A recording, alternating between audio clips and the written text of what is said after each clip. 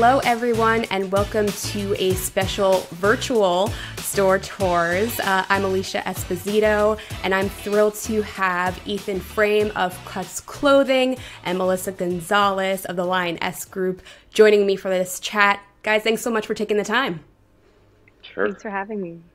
Yeah, so I think we have a lot to go through. I think a little bit of, you know, the Cuts Clothing brand story, the partnership between your two firms, and and even some trends around what's happening in brick and mortar because there is a lot happening. Um, so let's dig right in. First, Ethan, um, let, let's get into the backstory of Cuts Clothing a little bit because it's a very fascinating brand, really strong positioning. Um, you guys have been around since about 2016 and kind of acquired a bit of a cult following. I know uh, from what I've gathered in my research, people who have made the transition to cuts find it really hard to go elsewhere. So, if you were to kind of paint a 5,000 foot view of the brand and, and what makes it what makes it stand out, I mean, what what would that picture be?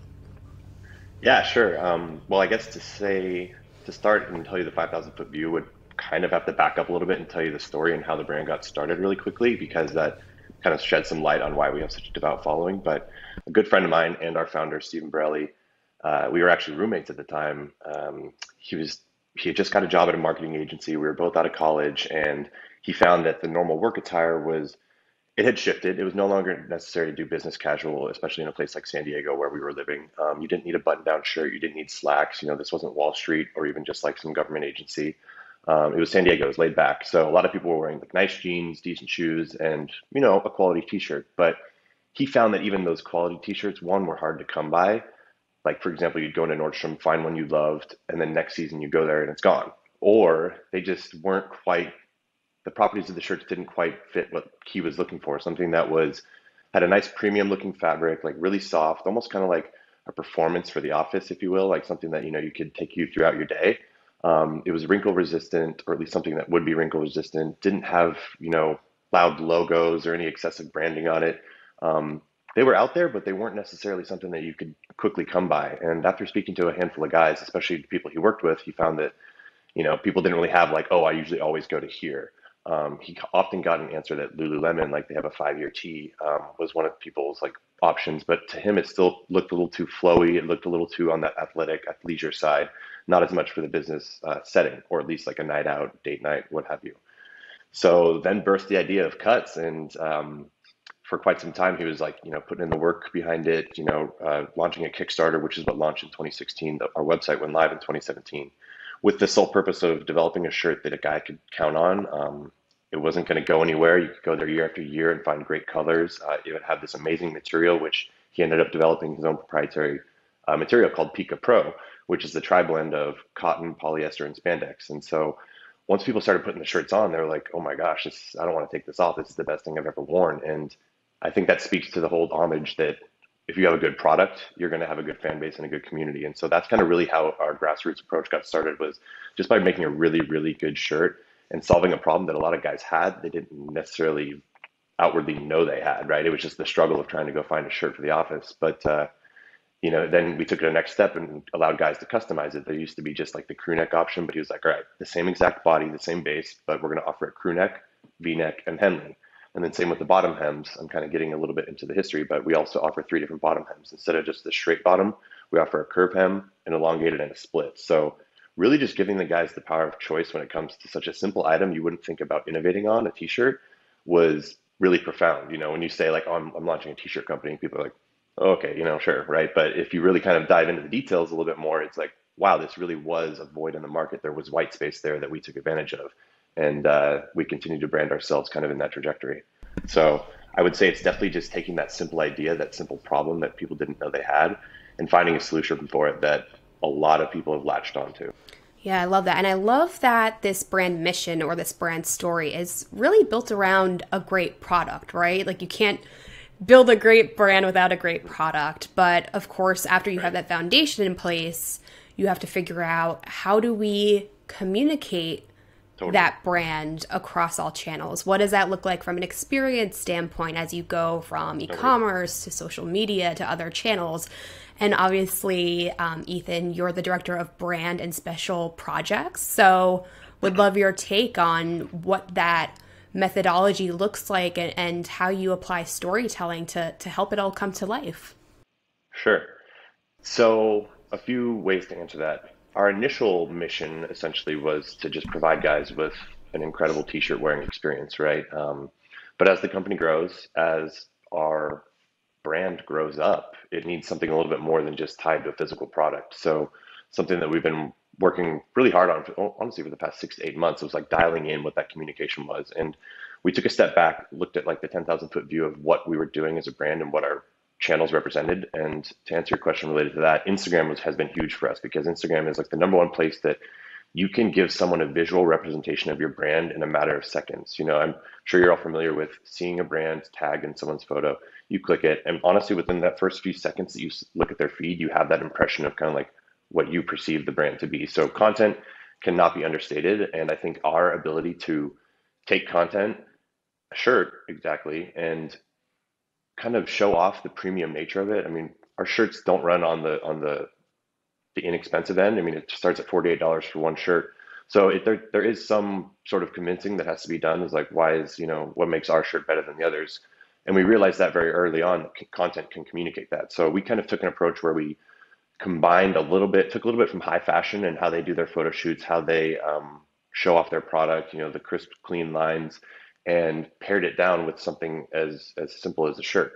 And doing so has allowed us to communicate our brand and our messaging and, and whatnot. And so what I mentioned we were working on for the past six to eight months is kind of like what is that evolved brand statement? What are we trying to be? And we took a look at how we are internally as a company. We're all very ambitious, go-getters. Um, we, we're we're up early and we're, we're, we're up late, and not to an excessive extent, but to a point where it's like we know what we were going after and we know what we want and we're going to get it. So after handful of actually more like countless meetings about it, we we landed on a statement that we feel really summarizes our brand is that we exist to outfit the world's most ambitious people.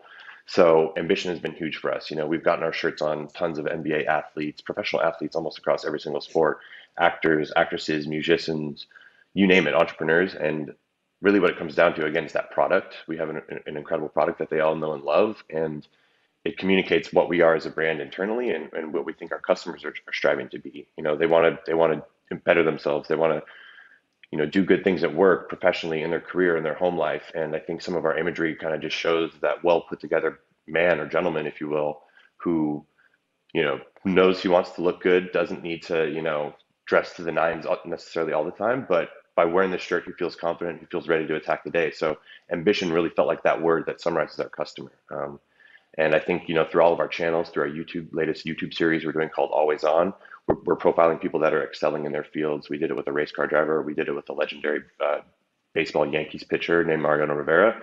So, you know, ambition and, you know, tying a shirt to, to those types of folks is kind of where we're going with the brand and realizing, you know, we don't want to just be like, oh, that's a comfortable shirt. We want to be known as like, you know, the outfitters of the world's most ambitious people. I love that. And, and I think it, it's probably very easy, you know, for the head of uh, an apparel brand to fall into the trap of just looking at the product alone. But you have really right. developed this like ethos around the brand sure. and what you are hoping to represent. And that that really applies into storytelling. And I love that you emphasize the importance of content, um, which I think is such mm-hmm. a um, critical point in this day and age, especially as you know consumers rely more than ever on digital and, and creating that consistency.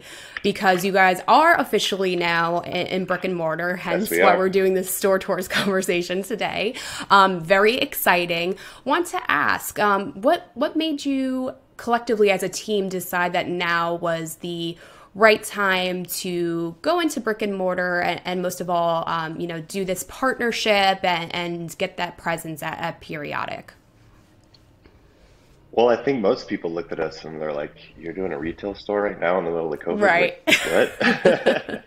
and we're like, "Yeah." Um, outside of just the simple, or I guess the fun answer of us saying like, "We always want to push the envelope. We always want to do what other people aren't doing." I mean, there's an element of that in it, but quite frankly, we with with periodics offerings, we, we couldn't turn down um, the opportunity. I think you know we're still a small team over here. We actually hired considerably in the past year. We were at probably seven people, and now we're almost up to twenty.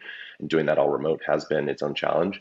Um, but I think because of that small team, we don't necessarily have a, an events or retail planning position. Um, we do have someone that works on wholesale and sales, but when it comes to like actually setting up a physical storefront, you know, I soon learned because I was the one like heading up this initiative that it's a lot of work. And with the amount of help we had with Periodic, I can't even imagine what it would be like if we tried to do it on our own. So to answer your question about why we decided to do it now, I think it was just kind of an aligning of the stars, right? It was so many good things that went along with it. We saw the opportunity that Periodic had to offer and all the, the, the amazing partners that they brought into the mix. Um, it was in Seattle, which I can touch on a little bit, but it's also a very big market for us. It's also where our founder Steven and a couple other guys on the team, they're from Wenatchee, which is a little bit east of Seattle. So it's a very big market for us. It felt like home. It felt like a great opportunity, kind of like, hey, let's just test this retail thing. You know, like let's. It's something we we've had on our docket. It just kind of got gotten pushed down the list. Um, but with this, you know, opportunity and with what Periodic was was able to bring to the table, we couldn't turn it down. Yeah, and I just really love the the thought and intention behind periodic, uh, Melissa. Which I, I want to get your perspective because you know obviously Ethan's looking at this through the lens of cuts individually, but you have um, really really worked on forging relationships with companies like Cuts across different verticals, and you have this really strong mission of creating this turnkey and, achievable model for, for going into brick and mortar. So would, would love your take on, you know, the, the mission behind this initiative and possibly even how it's evolved, right? Because um, even in the past six months alone, we've seen such a significant shift in you know how brick and mortars perceived how pop-ups in and of themselves are perceived new opportunities so i mean what what what how are you looking at the state of brick and mortar right now, and and I guess the mission of, of Periodic on its own? Sure. I mean, you saw a lot of pivots, obviously, because of COVID, and a lot moved to digital. But I think it also reconfirmed the um, the human desire for in-person connection. And there's a lot about uh, the brand's essence, fit. There's so many elements that are hard to truly compensate for in an online environment. You know, I think what's exciting is you're seeing more unity across all channels and you're seeing a more holistic approach by brands. Um, but understanding that it's such an important touch point. I mean, pre pandemic, we were working with a lot of um, D2C or digitally native brands coming to brick and mortar because they were hitting $10 million in sales. And it was at this threshold where competing online only became extremely competitive and expensive. And so we would open brick and mortar stores with them, and it became pop up as a prototype. So really testing the viability of long-term tenancies, whether it's this is the right market, is this the right square footage, is this the right layout? What do we see in terms of the halo effect? Uh, you know, growth to online traffic in a certain zip code radius, average order value, um, less returns, more frequent revisits to it to the brand once this became a hybrid shopper. So, you know, understanding through all these years the impact that physical could have, we wanted to create a platform that removed a lot of the friction, heavy lifting, capex investments that had to go into dipping your toes into maybe your first physical brick and mortar or maybe your first in this city. Um, and the ultimate goal is to help prove that success and also give something great to the community. You know, it's a point of discovery for everybody that lives there as well. We've had a lot of exciting brands since we launched in the summer of last year in the middle of COVID. But time after time, as we open doors, we see continuous evidence that people want this. You know, we started with VanMoof, with electric bike company, who now has a permanent space in the area. Um, you know, they started strong out of the gate with people booking appointments and wanting to purchase that. We did one in partnership with the Amazon Horticulture Group to uh, benefit the local zoo. We had a three week pop up. It sold out of appointment um, slots in 36 hours. And then cuts, you know, they launch with tremendous success. And, you know, again, it helps when you have a local presence and the founding teams from there. And, you know, people are excited again for that human side of it too. It's a brand that you might have coveted online, but now I can be with them in person, you know, and I can touch and feel. And so we wanted to give that opportunity to brands, again, removing the friction removing that capex and really giving it as a validation point of saying, okay, this makes sense for me. And maybe this is a market where I need to be in 12 months a year. And now I have those proof points for it. And I have learnings too. You know, it's like you approach physical retail with one mindset till you open doors and then you're there and you're learning okay maybe my merchandising strategy might be a little bit different or the impact an influencer has when they when they talk about the space you know we've had some amazing influencers come through the space and you know that's another thing that we provide as support is that marketing support so whether we're collaborating with their internal communication team or their PR team we have an agency partner who's local to the area who's also helping tag team getting influencers coming um, tag teaming getting local media coverage um, you know and and making sure that we're taking a holistic approach to what's going to best position this brand for success in a brick and mortar environment. Yeah i love that. I love that it's you know an all-encompassing strategy essentially like in this one partnership you get all of these odds and ends that really help ensure success. So, Ethan, you talked about how, you know, there's a founder story here tied to mm-hmm. Seattle. It's a big market for you guys. Um, what, what else were you hoping to accomplish with this pop up? Were you hoping that this would be an ideal testing space for further expansion? Um, to hit on some, some of the great objectives and, and you know, value props of, of going into pop ups, but what was top of mind for you? well, quite frankly, a lot of things. Um, this whole setup process of what it takes to get a store layout designed, um, the amount of inventory we would need, everything related to like what does it take to open a pop up um, on the front half. I wanted to know about right because we want to do plenty of these in the future, and I think it was going to be a great learning experience to figure out how many styles, what kind of styles, how do we visually merchandise it. Um, what I mean, among other things, like how do people and I'd say probably one of the more important ones is once the doors are open, how do people shop for cuts in person, right? We have never seen that. And as I was kind of getting things ready for this, maybe a month before opening, I was like, holy cow, this is actually going to be really cool because I don't think any of us has ever considered what 500 shirts, our shirts, looking like would look like hanging up on racks in in a physical location. I mean, sure, we've seen them around like the office and whatnot, but actually seeing people get to like slide those hangers, I was like, wow, I'm actually really looking forward to that feeling or seeing that, right? And not just for like the wow, this is awesome, like look at this huge step we've taken, but also for like, okay, I'm going to be watching their every move because I want to see. I know exactly how these people shop for us online. We can follow their behavior and what pages they go to next.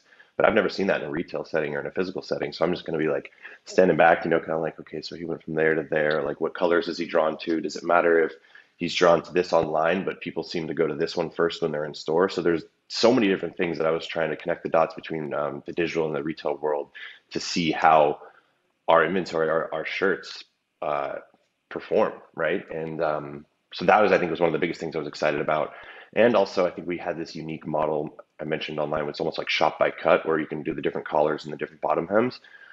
Was that going to relay or transmit the same way through the physical world, right? Would people be able to understand, you know, our offerings just from there? And, and so, on top of that, I'd say that was probably the biggest one. But um, really, just you know, what the consumer what the consumer experience is for someone who'd never heard of cuts before and what they think when they walk into the store. Because it's one thing, like I mentioned earlier, to land on someone's Instagram account, get the vibe, get the feel, check the website, be like, okay, I like this.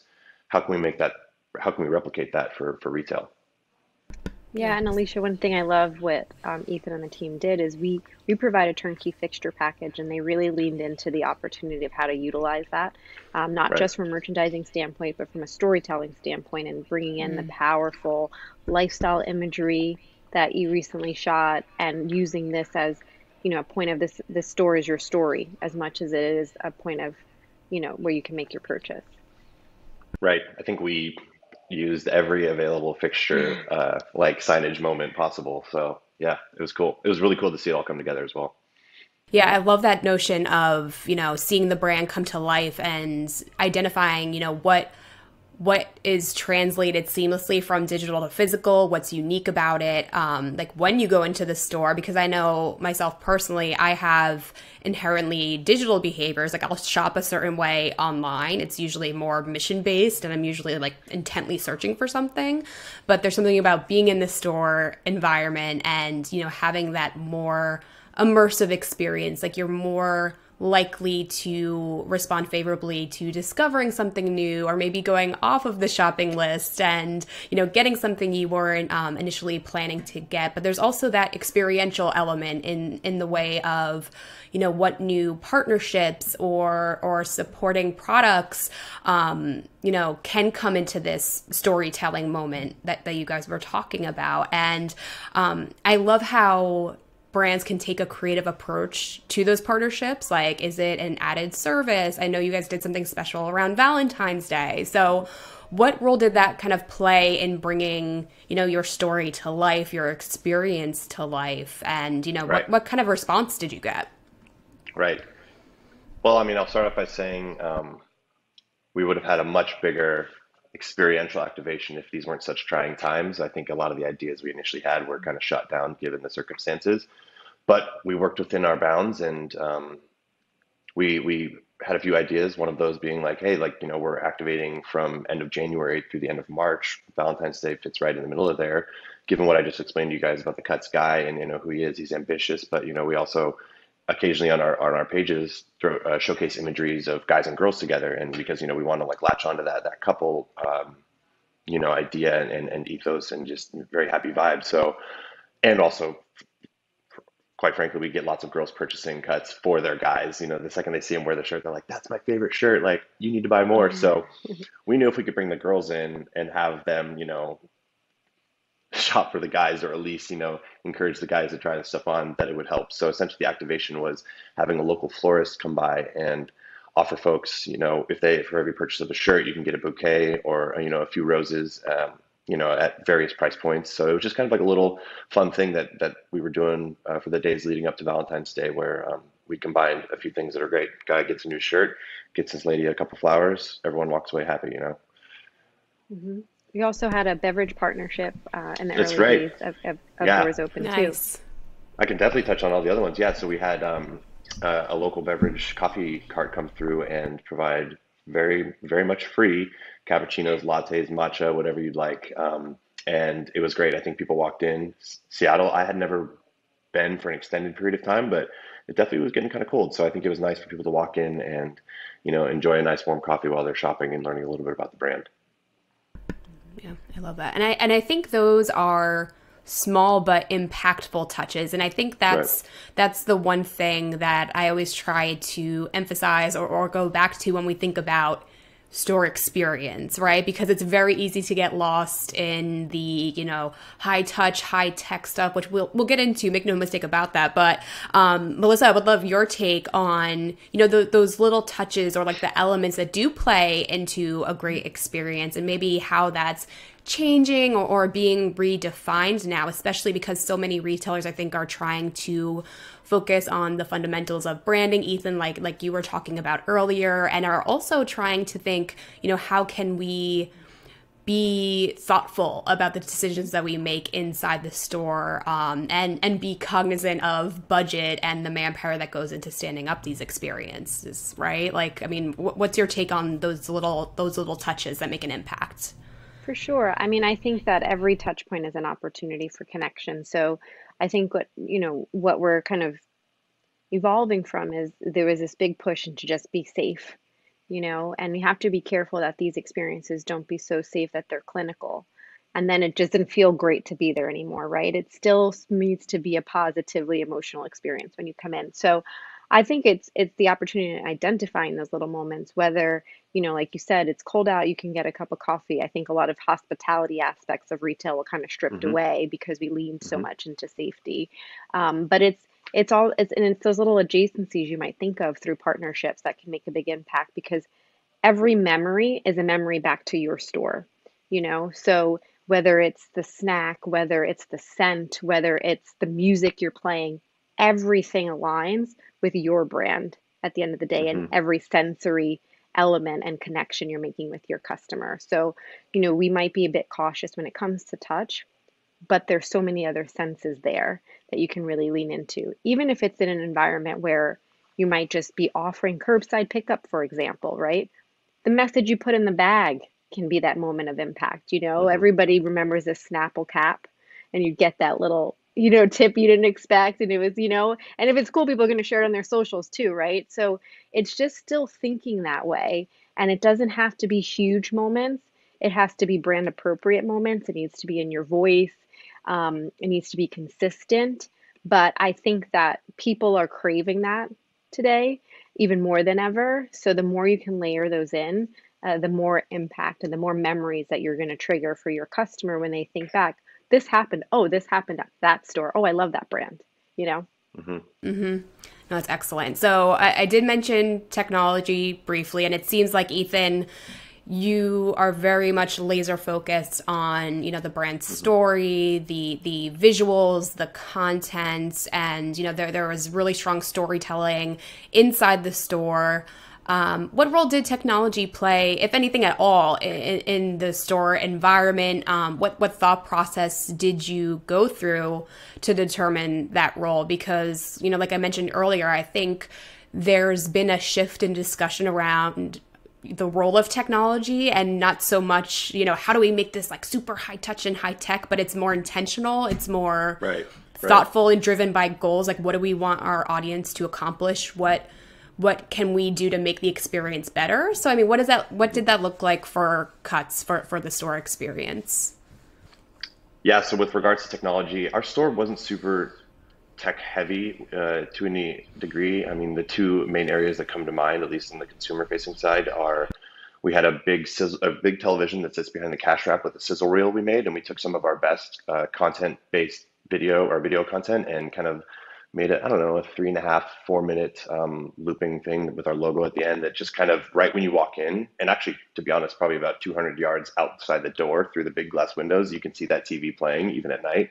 So it was really eye catching and definitely gave a great representation of what our brand was and just kind of the imagery and the type of high quality content that we, we produce. We have a, a saying that we say here, it's, you know, if it's not world class content, we're not going to put it out there. Um, so we felt that really got to give off a little bit of the brand, um, you know, in a more visual, engaging format outside of the the still signage that we had. And the other one would be how incredibly useful the Shopify point of sale system was. I think uh, that's Shopify is what we use to to complete orders and, and, and run our e-commerce website online. And they offer an in-store point of sale system, right? So it links directly with our store. We're able to manage inventory through there. We're able to see, even while I'm back in Los Angeles right now, who's purchasing from the store, what inventory levels are looking like. Um, it'll pull up the previous customers, excuse me, the customer that's in store. It'll pull up their email address and say, oh, hey, they've shopped with you online. So really connecting the, the digital and the retail, um, I guess, worlds uh, with regards to the, our customers. Uh, that made it super simple. And then on the back end, right, we're able to look at just tons of this data and, and see once this is all over, you know, what units moved the best? Did it compare similarly to what we see online? Uh, are people buying more long sleeves than short sleeves, like any single thing that we would want to dive into, we're able to see was the average order value a little bit more in store because someone got to touch the fabric and feel it and be like, oh wow, this is you know definitely worthwhile. Or you know how do those things differ? So I would say you know from the actual storefront premise, not terribly tech heavy, right? We don't necessarily need to be. We we're we're, we're a shirt brand. I mean, one day I would love to get maybe some VR experience in there, but I haven't thought that mm-hmm. far yet. Um, but other than that, I mean, it, it's still lots of technology happening on the back end, lots of digital marketing techniques that we're able to use and to, to really kind of bring that data into what we already know for our digital marketing initiatives and see how it worked in retail. Yeah, I think that integration is so important, and, and like Melissa mentioned earlier, that halo effect and and understanding, okay, you know, who's within the specific area, who visited, who came to the store, maybe purchased something online. I mean, you can't uncover that insight without having that integration. And I mean, you don't have to go too deep into like performance. I know there's still a bit more time, you know, for your store, but have you uncovered any learnings or any key trends around, you know, how people are interacting with the store, engaging with the store, and ultimately what that ripple effect is, you know, to your digital properties? Well, not necessarily in that regard. However, I have okay. found that one area and I'm just going to mention one of the, the, the oversights on my behalf, so uh, that's okay though. Uh, one of the things I found as people were shopping through the store was that I and I wanted to create this, but little signage pieces that kind of outlined, hey, this rack is our curve hems, this rack is our, our split hems, this rack over here is our elongated, to kind of really clearly differentiate which was on which rack. On our website, you can go to shop shirts and then select right there, right? So people know exactly what they're looking for.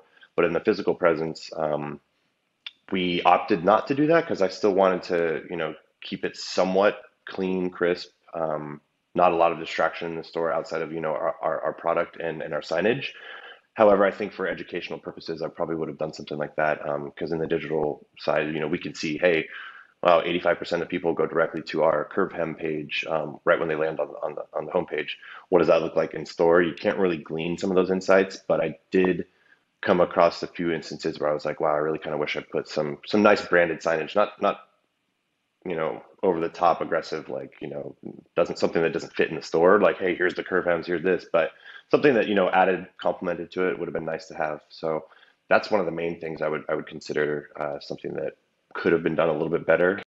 Yeah, yeah, absolutely. And I appreciate your transparency there because sure. I feel like yeah. a lot of the times, you know, part of the value is in testing and learning and seeing, right. you know, what resonates and, you know, to to your point, what should be you know, copy and pasted, for lack of a better word, between mm-hmm. digital and physical, and what needs to be completely unique. So I, I, com- right. I completely appreciate your transparency there. I mean, yeah, is there no anything else that, that you've learned in the process? I mean, I know it's an ongoing, iterative process, I'm sure, but um, anything else that you think would be helpful for the folks listening right now?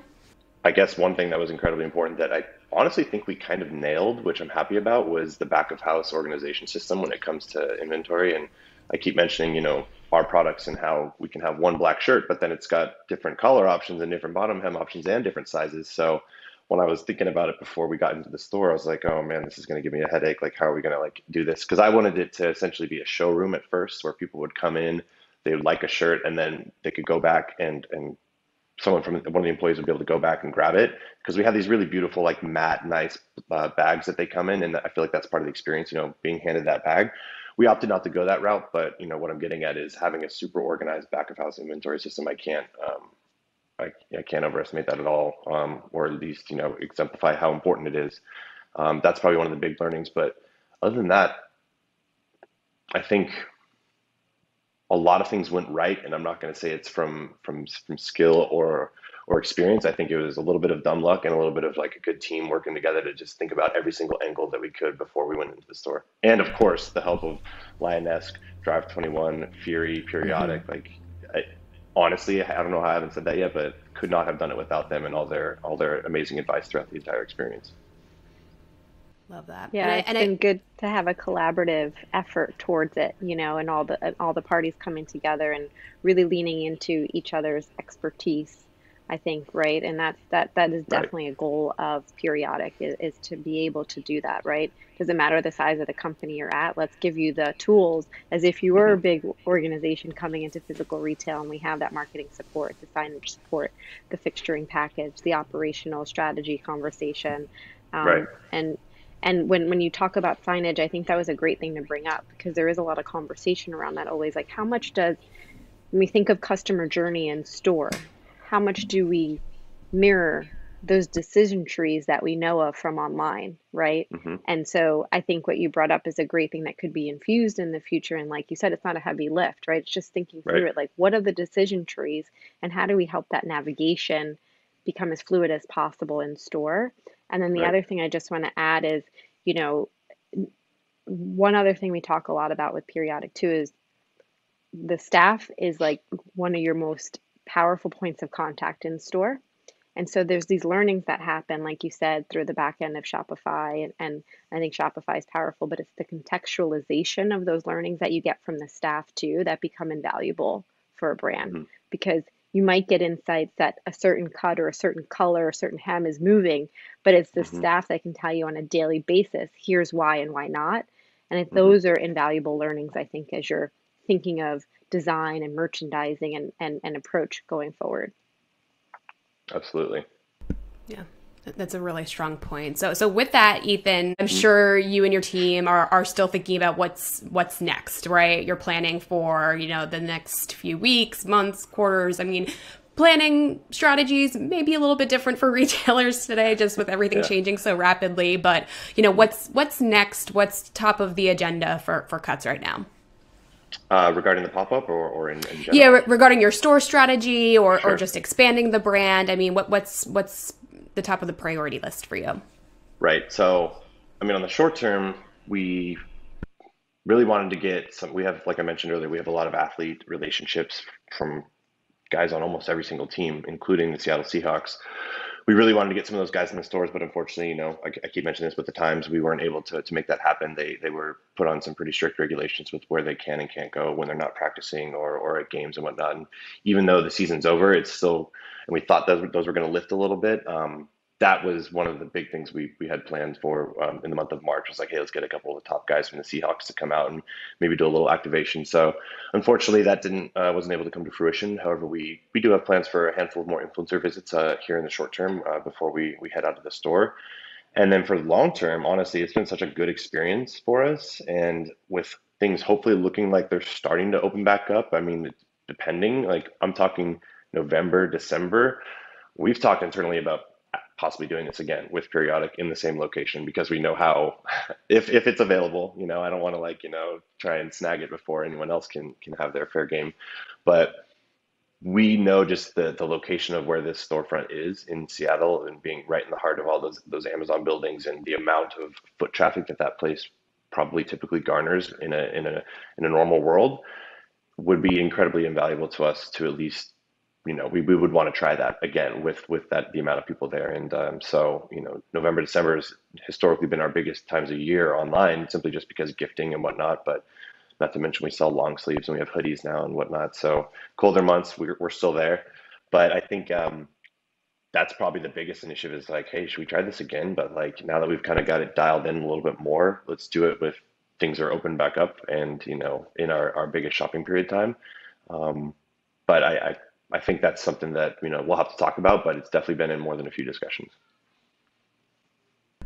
It's great, super exciting stuff. We'll definitely keep an eye on that. And, and Melissa, I mean, how about your team? How about everything that's happening with Periodic? Because I, I could imagine over um, you know the course of these last few months all of the great partnerships you've had um, a lot of different applications a lot of different learnings and you already have such a, a, a hearty um, mix of services, benefits, capabilities that kind of come into this partnership. But any um, any insight into you know how the periodic model or offering may expand or or evolve moving forward or, or just you know any sort of forward looking priorities i mean for for your team because this is such a evolving and, and still you know continually exciting space right now for retail for sure. You know, as, as Ethan mentioned, it's been really great to see so many positive activations happen, even though, you know, we have uh, capacity limitations and other hurdles.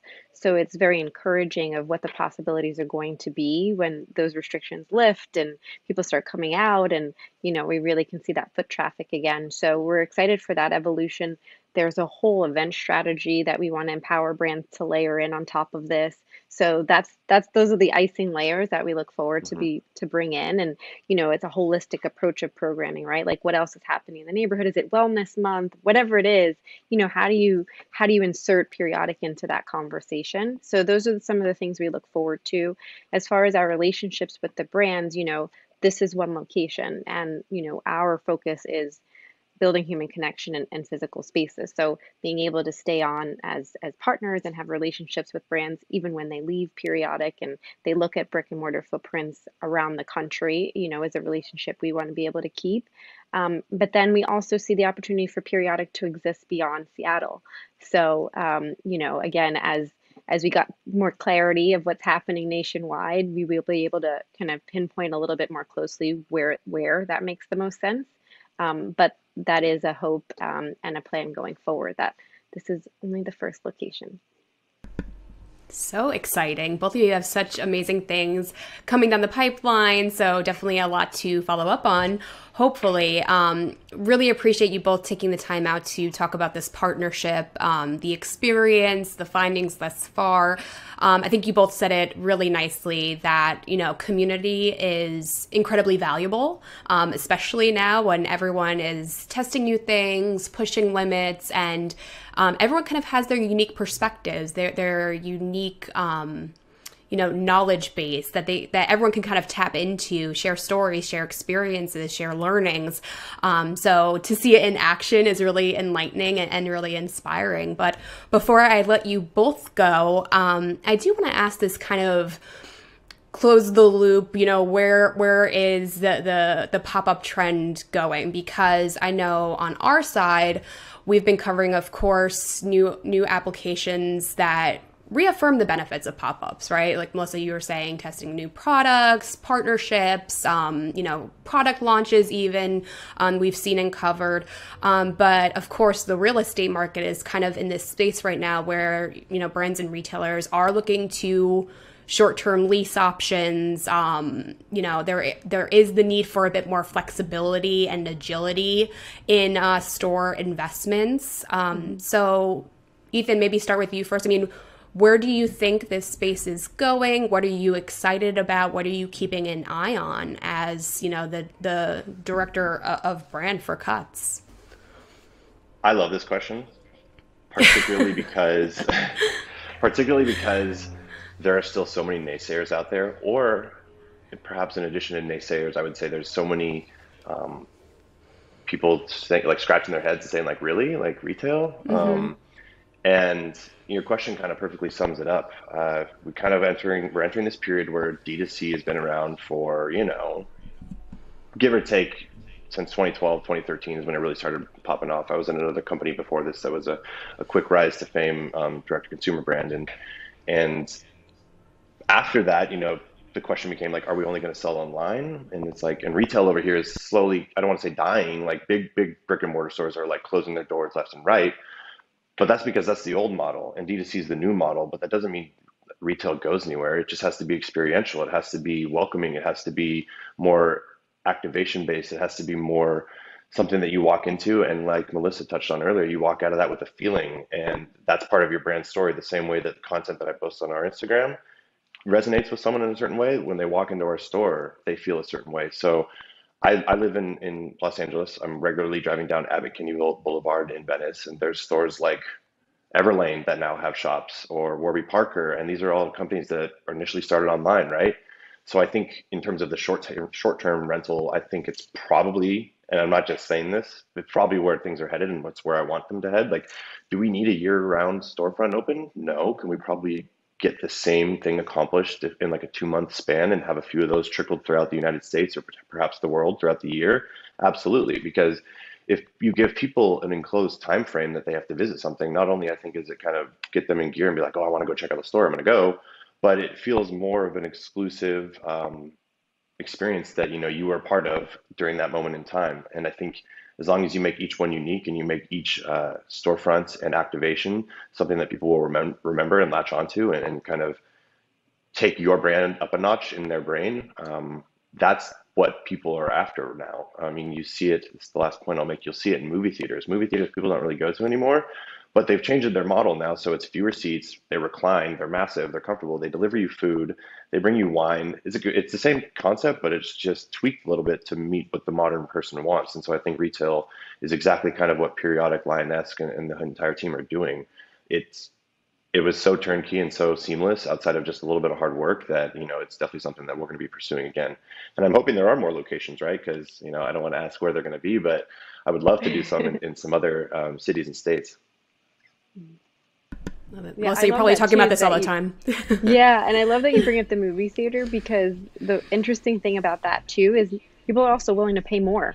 Like I'd never paid mm-hmm. more right. to see a movie, but you'll do it if it's the right experience, right? So mm-hmm. that wasn't the friction before. It wasn't the cost of the ticket. It was that this became a better experience. So right. Um, right. I definitely believe in in pop up, not because you know we've specialized in that because we work across you know all formats, but um, the purpose that it serves continues to evolve and you know out of the gate it's going to be a good solve for the uncertainty right? And, and making sure that we can test and iterate like what does the store experience need to look like? And but you're always going to have brands that have seasonality and even even mass market brands that might have a national footprint as they're relooking at their capital expenditures. You already saw them kind of start to decide okay here are top performers here are some that really doesn't make sense for us to have a presence 12 months a year but we still need to show up at certain times of the year whether like you said seasonality a new product launch a partnership you're testing new technology maybe that you're unveiling in store. There's so many things that it could solve for and then of course that sense of urgency that it creates when it's a limited time, you know, you get to have this amazing, um, very vocal focus group too come because people enter a mm-hmm. pop up with usually a different mindset than a store that they expect to be there 12 months a year. They inherently have in their head, I'm going to discover something today. And so it, it's such an opportunity to be able to harness that. Um, so I don't think it's going away. I think it's a mainstay. I think it's as brands evaluate different store formats. This is a format that they they keep on that list. And, you know, some markets are going to be flagship, some are going to be pop up, some are going to be small format, service based. And so I think you're going to mm-hmm. continue to see that variety. Love that. A very inspiring and positive note, I, I think, to close on, which is um, very refreshing with all of the um, changes and uncertainties that have um, continued to emerge in light of everything. So, Ethan, very nice to meet you. Thank you so much for taking the time out Melissa, always a pleasure. Loved hearing all about this partnership and wishing you both much success and, and positivity as we continue forward uh, through 2021. Thanks again, everyone. Thank you so Thanks, much for having us. And as always, everyone out there watching, thank you so much for taking the time out. If you have any questions for us, uh, Melissa or Ethan, drop us a line on social media. We'd love to hear from you and, of course, continue that conversation. We'll see you next time. Take care, everyone.